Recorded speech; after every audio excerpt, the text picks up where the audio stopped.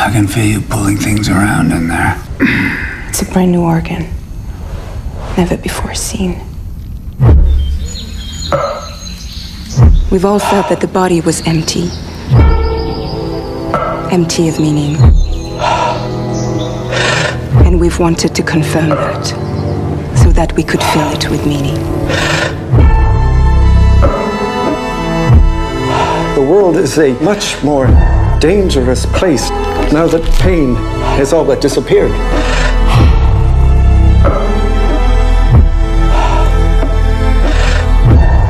Surgery is sex, isn't it? Is it? Hmm. You know it is. Surgery is the new sex. I don't like what's happening with the body. In particular, what's happening with my body. Which is why I keep cutting it up. What do you think they'd find inside it? Outer space. Oh. Whoops. Sorry. Let us not be afraid to map the chaos inside.